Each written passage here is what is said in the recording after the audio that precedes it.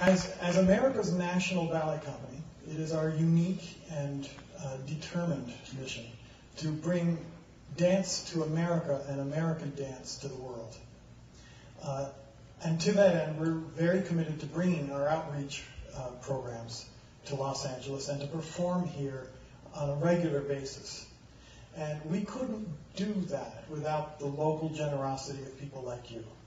Uh, the support of this evening will help us uh, present Swan Lake at the Dorothy Chandler next March.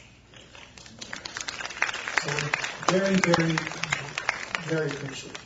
And I thank each and every one of you for joining us tonight.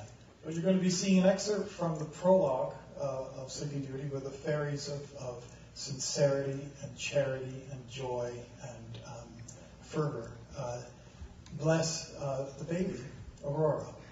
Um, you will then see uh, two of our soloists perform Don Q. You will then see um, uh, another soloist, Gennady Saveliev, perform the Gopak. I think I've got that backwards. Gopak is first, Don Q is second. Uh, and then finally, the famous Rose Adagio uh, from The Sleeping Beauty, where she is courted by four courtiers from the corners of the world, uh, and you will understand why it's called the Rose Adage when it's all done. So please enjoy. Thank you very much. We're thrilled to be here, and on with the show.